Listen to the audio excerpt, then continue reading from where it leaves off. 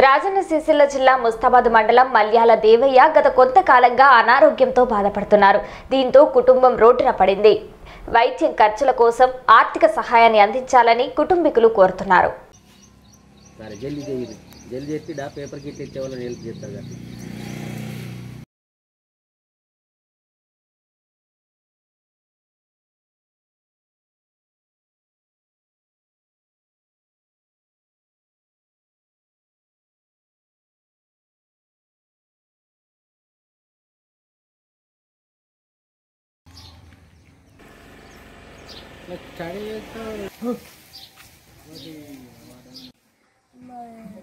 మలయాళ దేవయ్య. మొన్న బనమిక కింద పడ్డాడు. పక్క బుక్కలన్నీ విరిగినాయి. ఐదు లక్షలు ఆరు లక్షలు దాకా అయినాయి.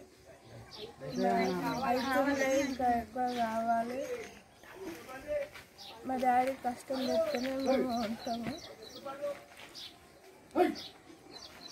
మాకేమన్నా సహాయం చేయరు మాకేమన్నా సాయం చేయరు దయచేసి మీరు